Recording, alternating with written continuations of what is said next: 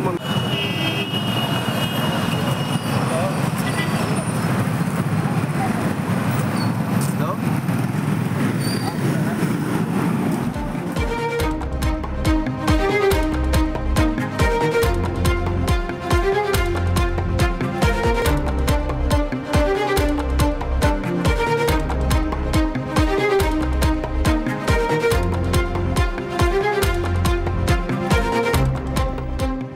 அண்மை செய்தி சென்னையிலிருந்து தாவேகா மாநாட்டிற்கு புறப்பட்ட தொண்டர்கள் விபத்தில் சிக்கியிருக்கிறார்கள்.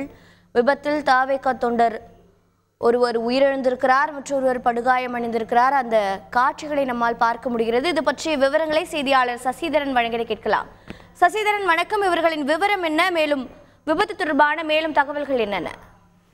இருசக்கர வாகனத்தில் பயணத்தை மேற்கொண்ட இரண்டு இளைஞர்கள் விபத்துக்குள்ளான சம்பவம் பரபரப்பை ஏற்படுத்தியிருக்கிறது. அண்ணா சாலையில் தான் இந்த விபத்தானது நிகழ்ந்திருக்கிறது. விக்கிரவாண்டி செல்லும் நிலையில சென்னை சேர்ந்த இரண்டு இளைஞர்கள் டிஎம்எஸ் மெட்ரோ அருகே கடந்த போது அடையாளம் தெரியா லாரி மோதி விபத்திற்குள்ளாய் இருக்கிறது அப்போது அதில் இருந்த ஒரு தமிழக வெற்றி கழகத்தை சேர்ந்த இரண்டு இளைஞர்கள் விபத்துக்குள்ளாகி இருக்கிறார்கள். அதில் ஒருவர் சம்பவ இடத்திலே விழுந்திருக்கிறார் தேனாம்பேட்டை சிக்னலில் காலை ஆறு முப்பது மணிக்கு கடக்கும் போது லாரி மீது விபத்து ஏற்பட்டு டூ வீலரில் வந்த இரண்டு இருவரில் ஒருவருக்கு தலையில் லாரி ஏறி இறங்கியதில் சம்பவ இடத்திலே விழுந்திருக்கிறார் அருகில் இருந்தவர்கள் உடனடியாக இரண்டு பேரையும் மீட்டு அரசு மருத்துவமனைக்கு அனுப்பி வைத்திருக்கிறார்கள். ஒருவர் உடலை பிரேத பரிசோதனைக்காக அனுப்பப்பட்டு மற்றொரு தீவிர சிகிச்சை பிரிவில் அனுமதிக்கப்பட்டு சிகிச்சை பெற்று வருகிறார்கள். சம்பவ வந்த போக்குவரத்து போலீசார் போக்குவரத்து சீர் செய்தும் இந்த சம்பவம் குறித்து உயிரிழந்த நபர்கள் யார் என்பது குறித்தான விசாரணை மேற்கொண்டு வருகிறார்கள்.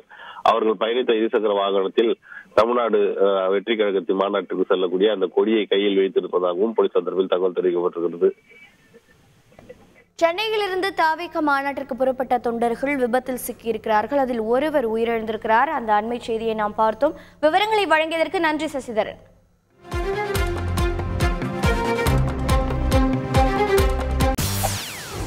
செய்திகளை உடனுக்குடன் தெரிந்து கொள்ள உடனே சப்ஸ்கிரைப் பண்ணுங்க.